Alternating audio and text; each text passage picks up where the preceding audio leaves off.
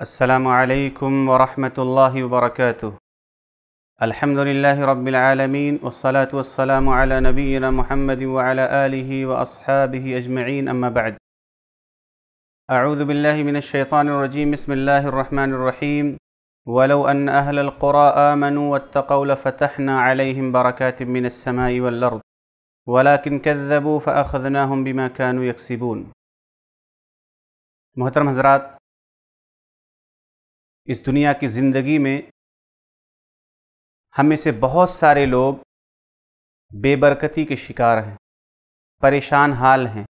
दुनिया की ज़िंदगी उनके लिए सिर्फ़ मुश्किलात का जगह बन गई है। वो मायूसी की तरफ़ जा रहे हैं। आखिर ऐसा क्या सबब और काम है जिसको हम इख्तियार करके ज़मीन व आसमान की बरकतें इस दुनिया की ज़िंदगी की सआदतें हासिल कर सकते हैं।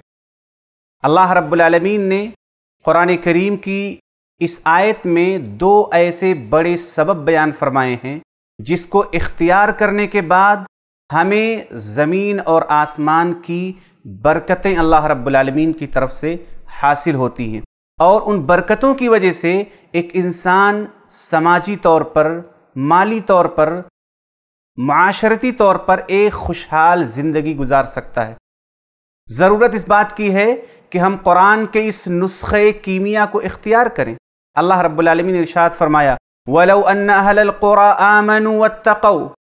और अगर बस्तियों वाले ईमान ले आते, तकवा इख्तियार करते तो हम उनके ऊपर आसमान ज़मीन की बरकतें खोल देते। वलाकिन कज़बू लेकिन उन्होंने तकजीब किया। उन्होंने ईमान का रास्ता इख्तियार नहीं किया, बल्कि अल्लाह रब्बुल आलमीन के कुफ्र का, इनकार का शिर का रास्ता इख्तियार किया। और अपनी ज़िंदगी को तकवा के बजाय गुनाहों और मासीतों में मुबतला रखा। अल्लाह रब्बुल आलमीन ने उसकी वजह से फरमाया फ़अख़ना हम बिमा कानू यकसिबून। तो हमने उन्हें अजाब में गिरफ़्तार कर लिया उनके कमाई की वजह से, यानी उनके शिरक, कुफ्र और मासीतों की वजह से।